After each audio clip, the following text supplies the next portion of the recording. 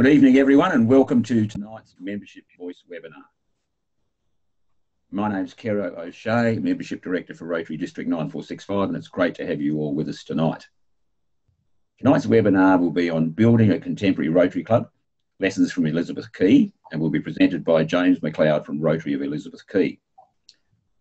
But it's now my very great pleasure to introduce uh, our panellist, James McLeod, to present tonight. James is a founder and current board member of Rotary of Elizabeth Quay and past president of the Rotary Club of Crawley, assisting local and international charitable causes. He was named as a Rotary Paul Harris Fellow in 2014 and again in 2017 for his contribution to the development of Rotary communities.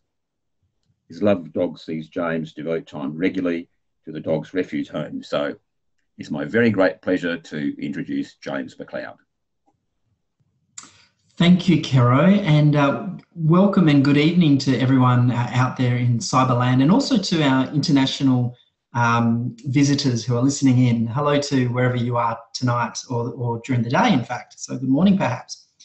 Um, I think I wanted to start with just to uh, give you a bit of a background um, to how the Rotary of Elizabeth Quay started. And I think a good starting point is actually to let you a little bit know about my Rotary story. So I was a Rotary Exchange student just after my, um, well, I finished high school in 2000.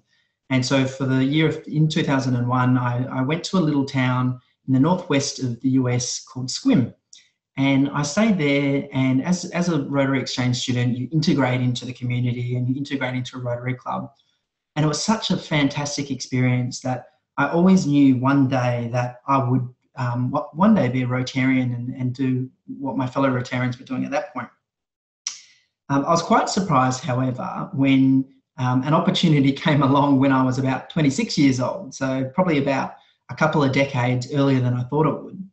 Um, and the offer was to be a charter member of, at the time, a really contemporary uh, Rotary Club um, that was engaging with young people and um, had some really great plans to do that um, in my hometown of Perth.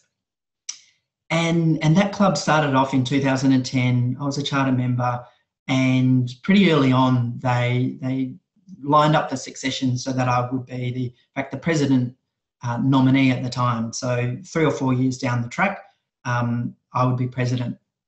And I went to the Rotary thinking, well, really, this is going to be a good thing. I'm just emerging in my career. I'm trying to broaden my contacts and uh, I joined the club. And lo and behold, one thing led to another. You integrate, you get involved, and all of a sudden, you know, you're on the board, and then you're involved in you know most aspects of the club. in 2013-14, um, I was the president of that club, and it was a bit of a, a turbulent uh, prior year. So the club was going through a bit of a rebuild. So it was a really interesting learning experience. So not only have I seen I guess the the, the emergence of a new club. Um, I've also seen it try and uh, recover to to where it was uh, previously when it first started. And um, after a couple of years uh, post that year, I, I, I, really thought, well, what is my greatest um, impact that I can have through the Rotary Network? And I, I figured it would actually be uh, helping other Rotary clubs um, be stronger and I guess shortly after my year as president, I, I got tapped on the shoulder by um, the district governor who, who was aligned with my year, asking me to join a membership committee um, that was really trying to promote Rotary in Western Australia. And at the time, you know, I was studying and I was busy. I said, look, I want to, but just just not now. And uh, like any good Rotarian, the tap on the shoulder kept happening. And then eventually, in about mid 2015, I said, fine, I'll be involved. Um, what is it we're actually doing? And in the end, what, what happened is this committee was put together to um, start new Rotary clubs in Perth. And, and throughout my travels, um, I've visited other Rotary clubs in India, in the US, and, and one that really stuck out in my mind was a club in San Francisco that engaged with you know younger professionals who were busy, um, time poor, had young families, and we're based in the CBD.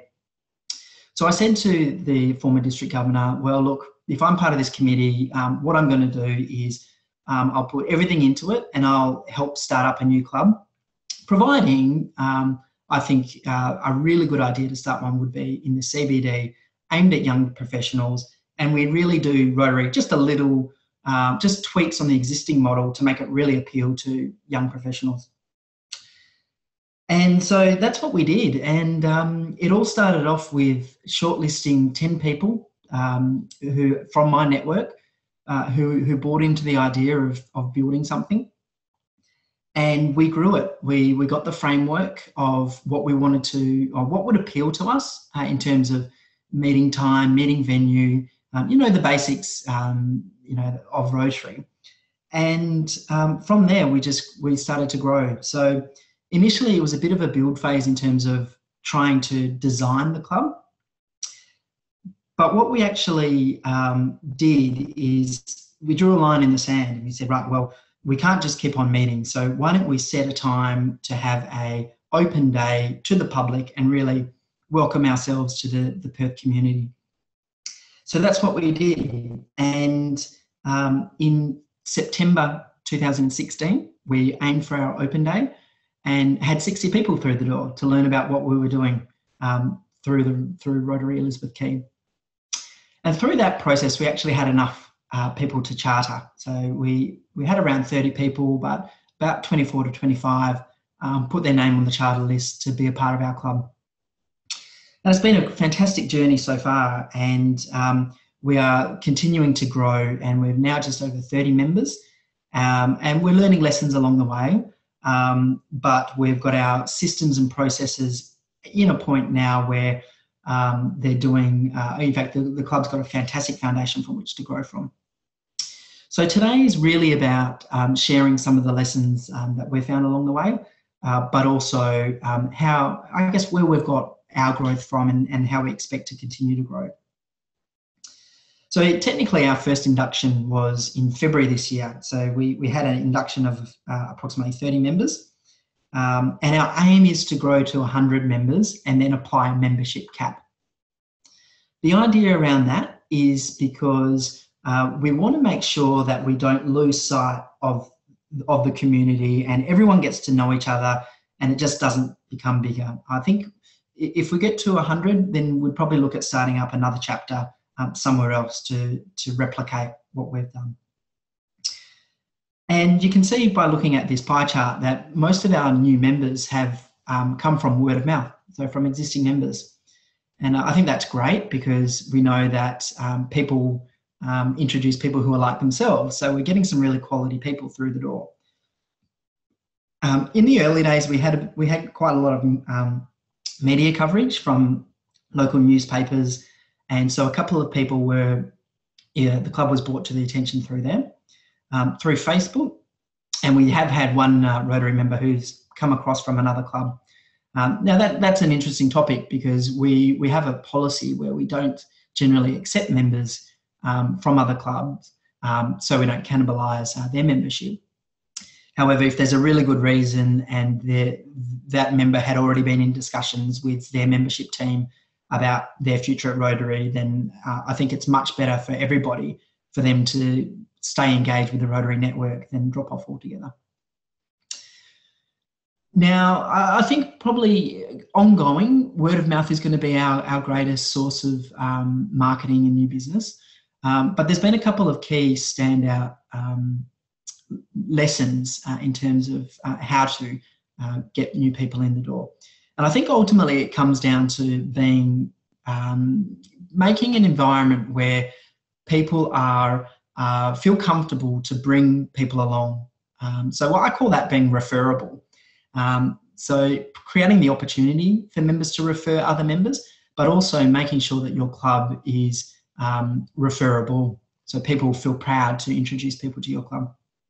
So we're going to explore that just a little bit. Um, but I think what what a good starting point is actually to um, now this isn't for everyone. I have to have to put that out there now. Um, this is what has worked for us. Um, I fully appreciate that um, other club other clubs around are doing fantastic work and they have a real style about them that is unique and and I don't think I don't suggest disrupting that if it's working for them.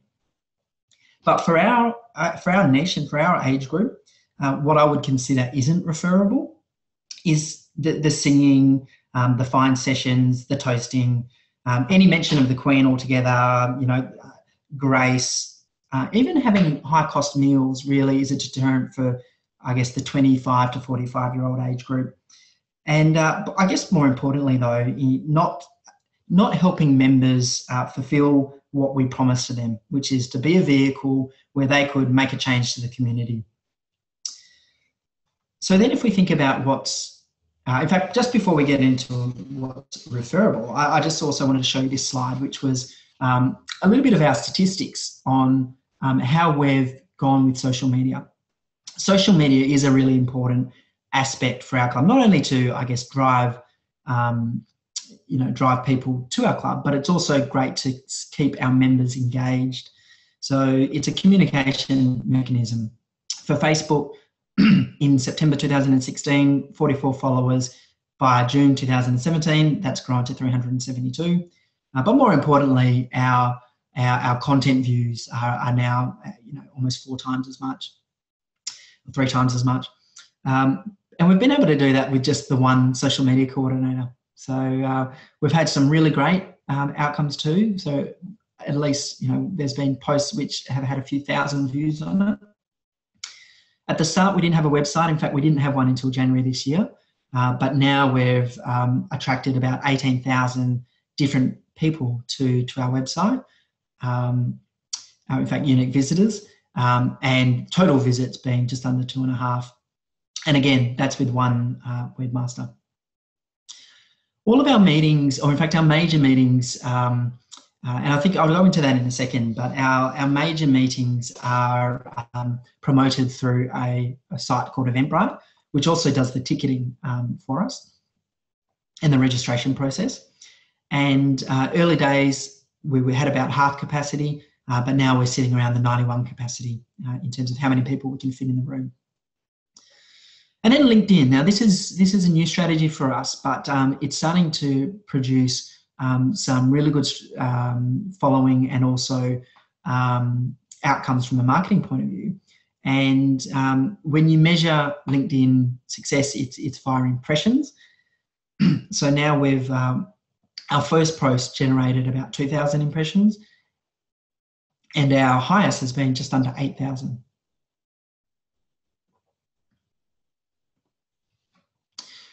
So let's go back to the, the concept of being referable. And for our club, um, I think the structure was one thing that really stood out in the early discussion for, um, for, the, for the founding core group in terms of what they want to see in a club.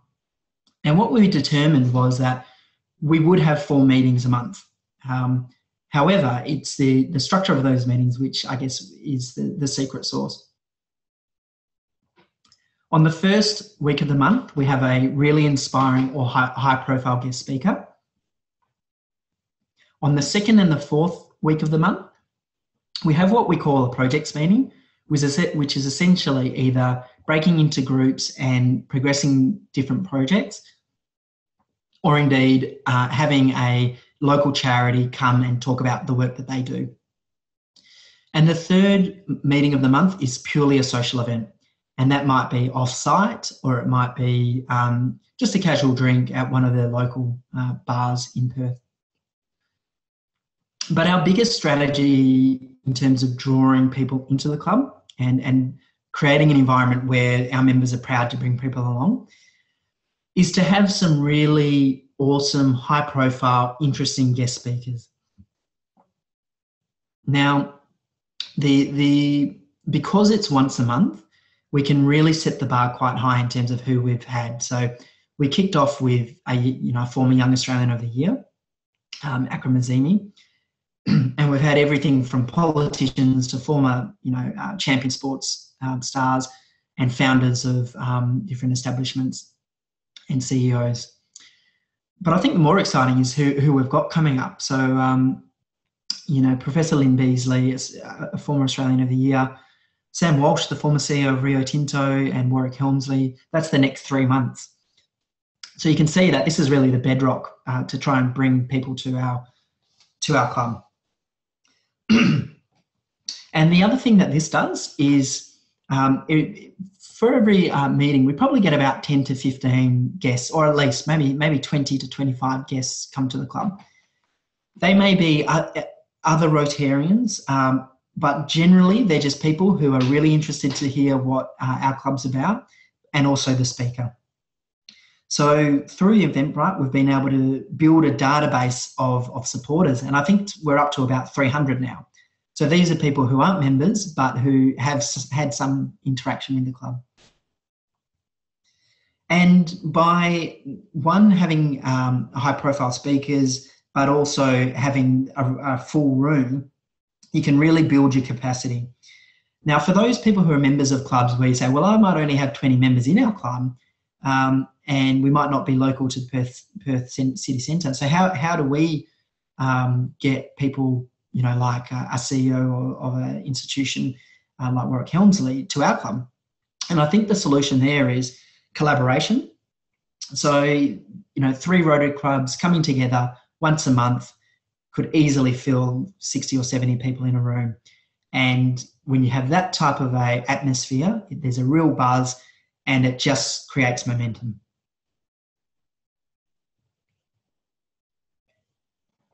I want to let you know about some of our projects that we've had now. And I think you can see by these images that they're really, I guess, um, they're, they're catchy, they're engaging graphics. And I think that's trying, that's what we try and do with our projects. So we want to think think a little bit differently. There, there's certainly a place for uh, hands-on service activities. In fact, our club loves doing those. Um, but we also have different events where we try and really leverage our skills to create impact. The first one that the first project we we did, well, certainly the first major project, was in March this year, which was a was a catwalk or a fashion parade, and we raised about fifty thousand uh, dollars for gastric cancer research through the Catwalk for a Cause and and again that that brought in about 400 people um, to the event, which just provided exposure for our club. Uh, a grocery project in the planning stages at the moment, but essentially what we're doing there is we're being brought into a, a existing business to help design the uh, giving strategy for that business. So while we're actually not really doing much heavy lifting at all, uh, what we are doing is helping them promote, helping them design, and helping them market uh, their philanthropic strategy.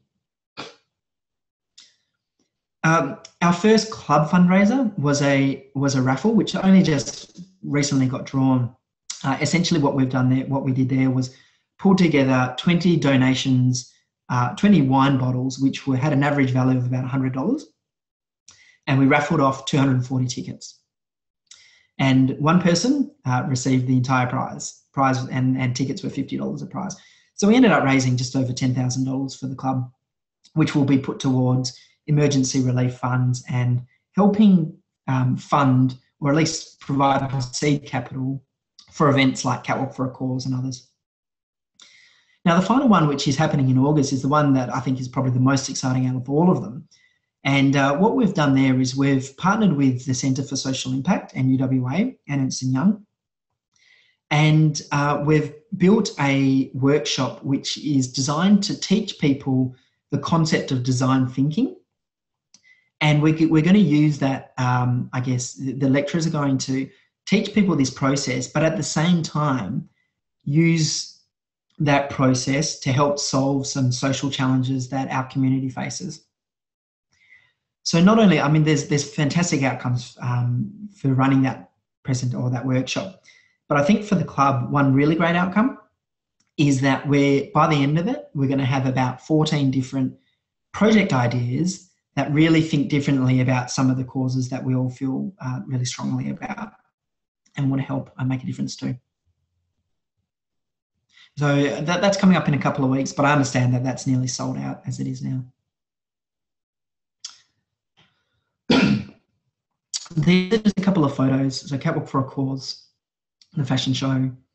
Um, this was the group of members that went to Catwalk for a Cause, all bright-eyed and bushy-tailed. And I think you can get a real flavour for who our membership is um, by looking at this photo.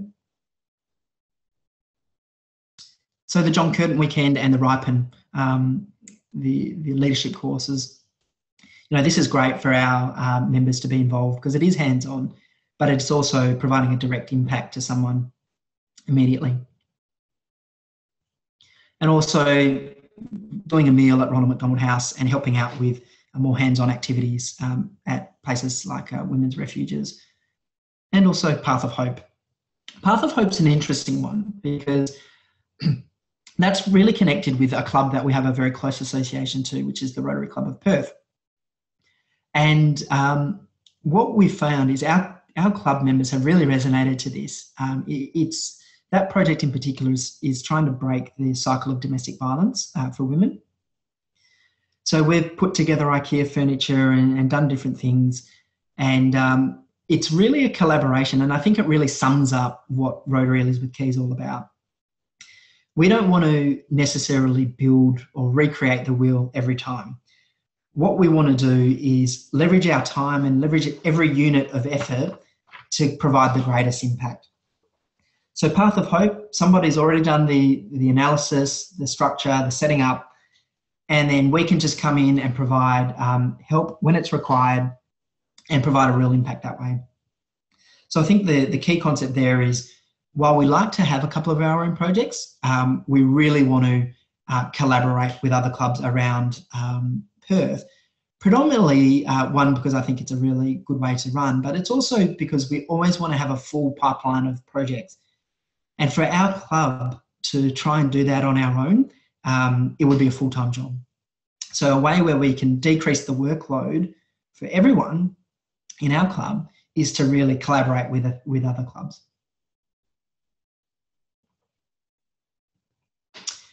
And the third strategy is fun social events. So we every month, um, once a month, we try and get get out of the meeting room and um, go see something different. So we've we've gone rock climbing, we've had barbecues, we've done whiskey tasting, we've visited the Fringe Festival, and a number of different activities.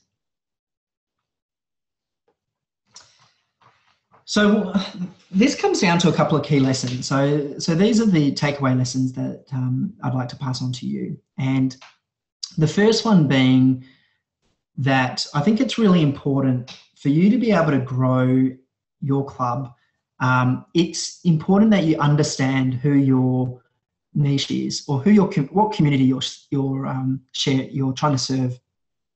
Because what you know, you can grow. So we, we have a benefit in in being really pro, um, targeted at young professionals between um, 25 and 45, and essentially what that means is we can design all of our club activities, our processes, our communication, the way we, our environment to appeal to that demographic. And what tends to happen then is people refer, people like themselves, and we're able to create that opportunity um, to introduce new members. So I think it's really important to actually understand who your members are and who do you want your members to be. The second thing which um, is has been really noticeable at Elizabeth Quay is how professional the structure has been behind the scenes. And I put this down to thinking and acting like a business. So our club has defined strategy and, and has robust and documented processes. Um, we have strategic plans for each committee and each function, and we really make use of the uh, free tools that that help with communication and efficiency. One is I think everybody knows Dropbox. That's just central depository for information and, and files so everyone can use it. But one that um, someone asked me about on Tuesday from another club is called Slack. And through, you know, having been uh, a member of another Rotary club, there you really can suffer death death by email. Slack is a is an app which really, I guess, uh, contains the communication that's associated with being a Rotary Club. And you're, you're, able to form different channels and have specific discussions. And not everyone, uh, certainly not everyone's a member of every channel. You're only a member of the channel which is actually relevant to you. And uh, it'll pop up like any notification on your phone. Uh, but that has cut down membership. In fact, it's cut out pretty much all uh, emails. The only emails we get from Rotary now um, pretty much are ones that have been forwarded from district or other clubs, and it's just easier to forward it on than take it to Slack. This slide gives you a bit of an understanding of our, our process framework in terms of um, swim lanes and, and how we go about it. But in effect, what we want to do is, is build processes and document them so anyone in the club um, can pick up a role and understand how to do that function. And, and this slide's just, just giving you a bit of a taste on what sits behind the scenes in, in every process within the club. Uh, this is critical, um, giving everyone a role. So what we try and do, and, and this was a lesson that I had learned previously at, at my former Rotary Club, is to make sure that you, the turnover um, stays manageable in terms of members. You really got to keep all members engaged. And it's about doing exactly what I've just talked about already in terms of um, events, great speakers, but it's also about giving them, giving people a responsibility where they have a reason to come to the club. So you can see that's our organisational chart, and I think that's almost every, uh, probably not every member, but close to it. Fact, there's even a couple of non-members on there uh, noted by the propose. Um, so, I mean, and, and, there's far more people than that um, sitting under the different um, committees. Now, I'd say a fair chunk, at least a, a third of our membership will at some point be within the membership committee.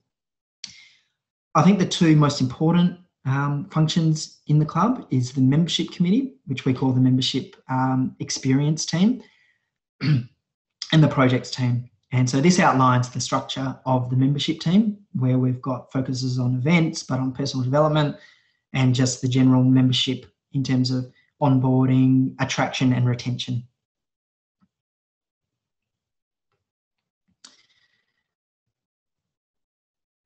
So before we finish up, there's a, a, couple of things that I did want to talk about. Um, there's obviously positives and negatives to having um, a niche, and what we're seeing in our club already is that being young and being mobile, people do um, do move on. And apologies for for technical issues. Um, I think being targeted to the 25 to 40 or 5 year olds, our club turnover is going to be larger than it will for um, other Rotary clubs. But I think also our membership our membership numbers coming in uh, certainly offset that. It may change as, as we reach 100 um, and then it becomes you know a limited resource in terms of being able to, to enter into the club. Uh, but at the moment, you know, our members are um, going overseas, moving into state, and we haven't even we haven't had a, a pregnancy yet, but uh, that'll happen sooner or later too. And having a young child, I know how hard that is, um, particularly for the mothers. So um, certainly that's one way. Um, and I think it just comes down to um, really knowing who your niche is and and ro- rolling with it. So um, I think the key takeouts, if I if I can uh, just go back to these, um, really, if, if you're going to leave with anything today, my message to you is really understand your niche um, who you're serving and what they want to see in a Rotary Club. Design your Rotary Club so that it's efficient, professional, and um, enhancing your ability to make a difference, not impacting it.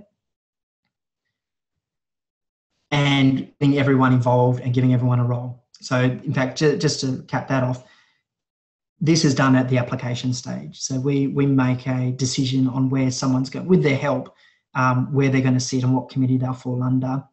And then as quickly as possible, try to give them, give them a specific function, not just a, a, a spot in the committee. so if you're interested in learning more about the club, um, there's a couple of things you could do.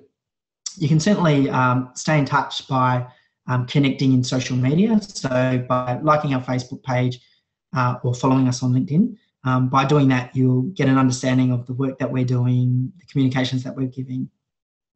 Um, visit our website, uh, www.rotaryeq.org, and uh, see how we've designed and how we project ourselves.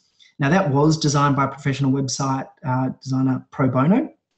Um, but I think it's a really great example of what a Rotary um, club website can look like. If you're in Perth, please come along to any of our future meetings um, to get a real taste of how we do what we do. And our next speaker is Professor Lyn Beazley, uh, who's coming on the 2nd of August, which is next Wednesday. We meet at a bar called the Laneway Lounge, and we've got a section out the back of the bar, which is the restaurant area, which we can close off, and, and it also has a stage. And I would fully um, recommend uh, reading this article by Michael Brand about his perception on why uh, service clubs are, are, I think that's a bit misleading because it's not so much about why our service clubs are dying, it's more about how can we make Rotary um, even stronger for the next 20 years, as strong as it was in the last 20 years, um, appreciating the changing in generations. So thank you everybody for um, listening in. Um, I hope you at least had a taster about uh, what we're doing at Rotary Elizabeth Quay and what we want to do and how we'd like to engage with people. Please also feel free to reach out to me directly. Um, the, this link will be shared um, in time and uh, the organiser through the Facebook page, which you would have found this, can certainly give you my details, but I would be happy, more than happy to answer any um, specific questions that you might have. So thank you all very much. Thank you, James. And we do have some, some questions here for you. One from Bernie, and the question is, what type of memberships does the club promote? i.e. social, full, active and corporate. So the question is, uh-huh. what sort of different type of membership types do you have? At the moment, it's, uh, and thank you for raising that, Bernie, because uh, it raises a good point, which I forgot to mention. But at the moment, we have um, only personal memberships. So we're in the where you've got to appreciate we're still really growing. Um, it's early days. Corporate membership, I think, is something that can be looked at, which is a really great idea for clubs. Um, associate membership, we're not focusing on right now. I think if we if we got to a point where we're at 100 members, we may look at it. We do have a segment of the Rotary Club though called you know Friends of Rotary, and I mean that that's a no cost option but it doesn't give you basically it, it, restricts your privileges to essentially at uh, volunteering at certain things which we invite you to volunteer to and coming along to um, guest speaker meetings uh, when they when they come out. However we have done one thing recently uh, which is it looks like it's going to be really successful but we've we've advertised for um, we've we've formally advertised through seek.com positions of volunteering uh, for specific functions. So particularly our marketing, which we, have had one marketing, or we've had a couple marketing people in the team, but they're really, in terms of how much marketing we do um, from a social media point of view, we, we need additional hands on deck. So we've specifically advertised for that role, and uh, and I think of a couple of other roles in terms of say a copywriter uh, to produce content. And so far, we've got about 25 applications from people who have had some connection with Rotary, but aren't members of uh, clubs at the moment. So I think that's been a, uh, that may in turn um, start a new class of membership where someone is engaging with the club just for a specific function. But I kind of think of that like our auditor. You know, we have a, a an outsourced auditor to an accounting firm, and you know they'd come they do their job they go away they don't really do much else. So uh, I, I think it'll either be these people who are attracting through seek and then can either be full members or they have the option to just fulfill one particular function. Thank you james. Uh, we do have another question here from peter and the, the question is what format do you use at meetings so essentially, um, we grab a drink and try and hustle everyone into the room at 5.30 and pretty much every meeting starts off um, an mc welcoming the the uh, the crowd and uh, welcoming specific guests um, particularly if they're from other rotary clubs. Um, there will then be um, so we keep it quite light. So the, the president will then be introduced and may give a few updates. There may be a few, uh, so he's standing at the time, the, everyone else is sitting facing the, the stage except for the president who's facing away from the stage. And he'll give updates. He may introduce people to give specific updates about projects, about other things going on, of um, social events. But essentially, um, total speaking time would probably be 15 minutes. Then a it depends on what meeting it is. If it's a guest speaker meeting, um, someone will be invited to give an introduction to the guest speaker, and then the guest speaker will talk for 25 minutes. Then the that person will then give a vote of thanks, and the president will say the final word, and will will um, disperse for drinks at the bar. Um, but if it's a projects meeting, um, instead of introducing a guest speaker, we'll then break into our different groups and have um, you know discussions as a group about how we're moving forward on different project ideas. Thank, thank you, James. We have another question here from Kate. How can we encourage members to refer people who are like them in values but different in background, e.g., gender, ethnicity, profession, age, etc., with the goal of innovation through diversity? Now, I think diversity is a funny thing because I think our club lacks diversity, not from a gender point of view or a, um, a, a sorry, from a gender point of view or nationalities uh, or ethnicity. I think certainly from an age point of view, we are um, not diverse. So for us, I think it actually comes back to do we want to be diverse? Um, do we want to have people who are 20 years old and 50 year old, uh, 55 year olds in the club? And you know, I, I keep coming back to no, I, you know, I think what we really need to focus on is who we are and what we stand for and who we really appeal to. So if diversity is something in your club that is really important in terms of who you are as a Rotary Club, I think that every member needs to have, I mean, that needs to be a core value of the club. And if it's not a core value, then you're not going to really encourage members to do that, to bring in people of a diverse nature. However, if it is your core value, if you if your niche is saying, well, we are a diverse club, we have you know many different um, nationalities, various ages, and in fact, that's our niche, diversity. Then um, you know I think it's all about being really clear about that's that's part of your club values. That's part of your club um, membership attraction strategy.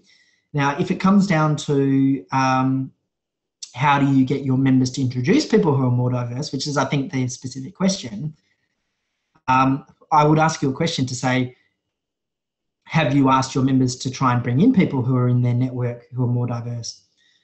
But, you know, diversity, it, it just depends because you know, they're a they're a great club. I think diversity is a great thing, but I think um, I'm not going to get too hooked up on it because you know I'm not so much practicing what we preach because we're not diverse from an age perspective. Um, likewise, there's um, there's clubs around Perth who lack um, gender diversity, um, and you know my view on that is well, that could be that that I mean, on the face value, that looks like a bad thing. But on you know, if you dig a bit deeper, you say, well, perhaps it's a good thing, and and perhaps there might even be a place for women. You know, a Rotary Club with uh, women only, uh, not by design, but just you know, um, in the end, ending up like that. And I suspect if that was the case, that would be one successful Rotary Club.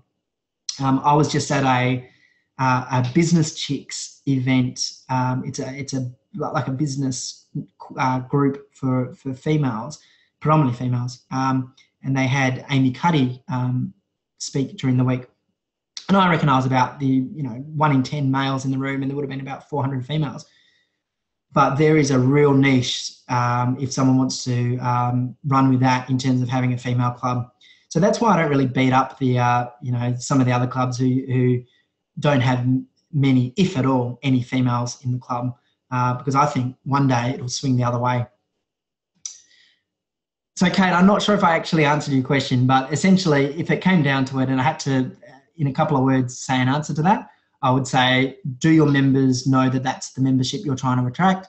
um, and then go about um, creating a club which would appeal to those members. So if you're trying to attract a, a diverse ethnicity, well, you might have someone, you might have a, a refugee or someone who's come from, well, in fact, Akram Azimi is a fantastic example. You know, he was um, a refugee from Afghanistan and ended up coming to Australia, not being able to integrate well initially, but then he became Dux of his school and then ultimately um, a Young Australian of the Year. Um, and then is now, you know, lecturing at universities, and uh, he is just one amazing person. If you wanted a diverse uh, people in your Rotary Club, then you have a speaker like that, and then you target different areas to bring in, um, I guess, different ethnicities and, and sell it that way. That, that's probably my starting point. Ah, thank you, thank you, James. A, a, a question from a different angle from uh, from Peter.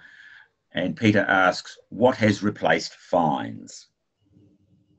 From a, um, I, I assume you're talking about um, club revenue. Um, so basically, club. How do you how do you uh, attract club revenue if you're not having the fines? Now, the San Francisco club that I went to, uh, where really we borrowed the idea of, um, they had a thing called um, Happy Moment or something like that. So, and, and I've, I've read an article recently about another club, um, I think it might have been a Canadian club, where they had a similar thing. And essentially, what they would do is um, people would volunteer to, so everyone knew that it was a way to raise money for the club. And people would volunteer to mention something happy that's happened in the last week or two um, in their lives, and they would pay a donation there. Now, I think that's really a different mindset. It's a real positive mindset. And rather than getting uh, a few ga- a few laughs through fines, but ultimately potentially putting guests and new members and younger members really offside by some of the the jokes or some of the um, putting people on the spot that fines sometimes do. So they have a thing called happy moments, and we haven't introduced that into the club yet, but we may yet. But uh, we are trying to keep our club really low cost, so I don't know how that will go. The, however, there, there, it just does mean that we need to fill the gap. And if you think, well, what do we actually need money for? Um, the only thing we really need money for that's not covered by membership fees, I would suggest, is helping start projects and um, and then or fundraising for causes, and uh, essentially that's that's what we do through things like the raffle. So we raise ten thousand dollars. That's going to provide in perpetuity um, around about say eight thousand dollars, which we can use to help set up um, projects. When the projects are done and the money's raised, well, we pay the club back. So the money's not actually spent; it's just lent. Um, but every year we'll run this raffle and it will grow over time. Um, the extra 2000 will be there for you know Rotary Foundation contributions or if there's a earthquake or a cyclone um, we can write a check out to Shelterbox or something similar. So really that's um, that's how we raise money for the club. Um, I would say it's more like one-off um, one-off efforts and and I think just fundamentally uh, fines just wouldn't fit in our club. Thanks, James. Another question this time from Ian. When starting a new club, the issues are much clearer than changing an older membership historically to a new age rejuvenated club. What approach would you take to do this? In other words, what, what approach would you take to a rejuvenation program? That is an excellent question. And I think if you can solve that problem, uh, you solve all of Rotary's problems because, from my observation, it's much, much easier to set up a new club um, than it is to change an existing club.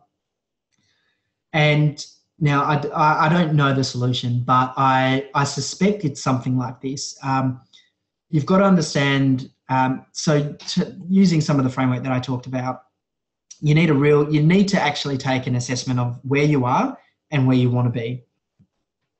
And if all of your members are happy with where you are where you where you are and and think that that's where they would like you to stay i wouldn't even bother trying to change it. Um, you're only going to be able to change a club if you know the majority of members um, want to do so and you know it fits within the culture. And if the members who aren't happy um, or the club's not going to fall over if you lose a few members because they didn't want to change so you know changing a culture in a rotary clubs you know like changing a culture in business um, but I think you, yeah, a good point would be get every get every get the core group uh, or and the majority of the members on board in terms of saying what do we want the club to look like, and then step it out um, and take baby steps at a time. And if you, um, you know, all of those things which I mentioned in terms of fines, uh, all of those things which doesn't really connect with at my generation, um, just easy as it goes um, change it over time. Um, don't try and change it tomorrow. But in the meantime, uh, it depends, you know, what level of the club, whether you've got 20 or whether you've got 60. I think you'd take different approaches. If it's less than 20, um, you know, you, you might, or in fact, even say less than 15, you might seriously consider um, merging with another local club and starting afresh because that will give you the trigger to be able to implement some of these changes without much resistance. But it, people have ownership of their club, particularly, um, you know, I went to a Rotary Club the other day and people have been members for like 40 years. You know, good luck trying to change that culture overnight. You know, that's going to take heavy lifting for a long time if it needs to change at all. Fine. Thanks, James. A very short question here from Ian. Um, will your slides be available? now this this is recorded um, and it's going to be distributed by link. Um, Kara, you probably best to answer that. Is are you going to also um, publish the slides? Yes, that would be my intention. Okay, so that's a okay yes. That. Yes, we'll, we'll, be doing that uh, in early August.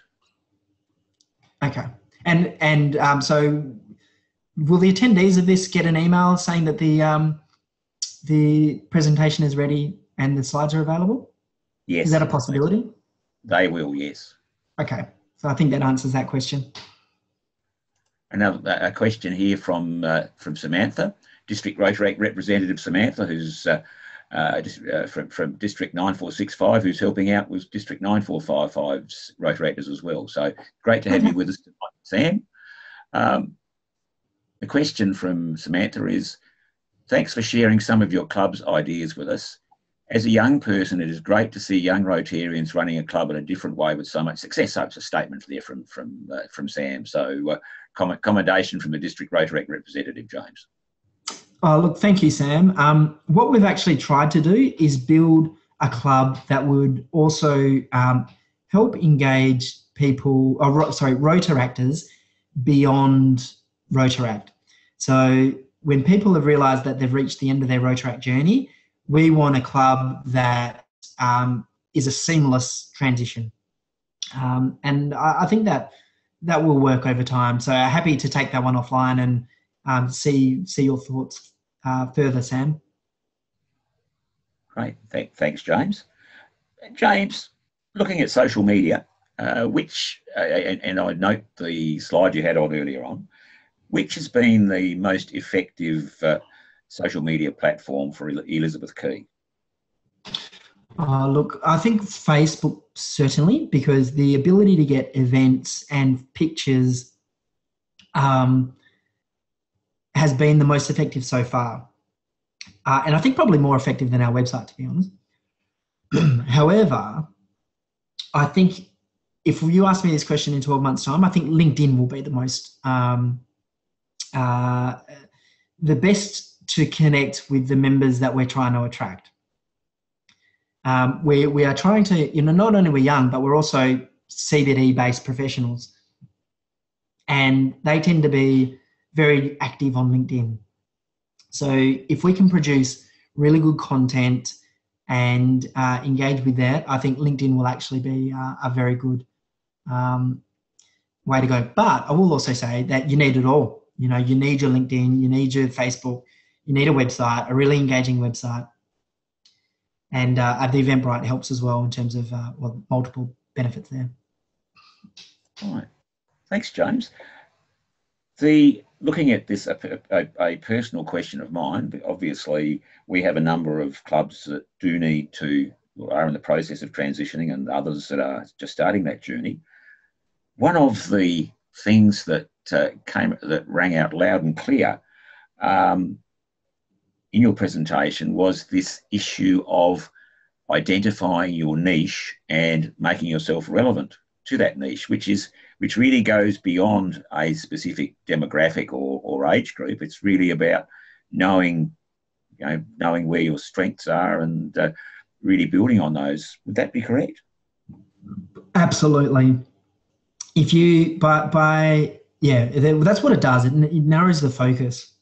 So having a you know a, a theme or a niche just allows you to really cut back and you take less of a scattergun approach.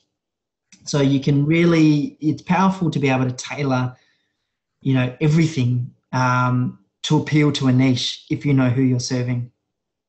So that's what we've been able to do. We've just been able to, um, you know, if we focus on appealing to one particular group, then um, we can do it really well. And that said, you know, that might not necessarily how we do things probably doesn't appeal to 20 year olds and it most certainly wouldn't appeal to 60 year olds but it definitely appeals to uh, you know the 25 to 40 40 45 year olds obviously from the way it's working so well at the moment it's a, it's a very well very well organized uh, rotary community. Well it does seem that we've uh, exhausted the, uh, the the supply of questions at the moment so uh, um, before we do close, uh, I would just like, on behalf of the audience, to thank you for your efforts tonight, James. A, a, fantastic presentation, and uh, certainly uh, uh, it's, it's it's ticked a whole lot of boxes. So so thank you for that. And I will, yeah, I thank thank you there from uh, from Ian. Um, and I'd also like to thank our audience tonight for, for, for being so engaged, for coming up with some fantastic questions and uh, just to recap in terms of the availability of tonight's content, we will have the recording available uh, in, in early August and we'll also have uh, uh James's slides available for downloading. So uh, uh, on that note, I would like to thank you all for being with us tonight and say good night. And just, to, just before I do go, just to remind everyone from District 9465 that we do have our major membership and club building seminar, the Network 18 uh, series of seven seminars that are being held next uh, next Sunday, the 6th of August, and everyone, of course, is very welcome to uh, uh to attend the seminar that's most convenient for them. But on that note, good night.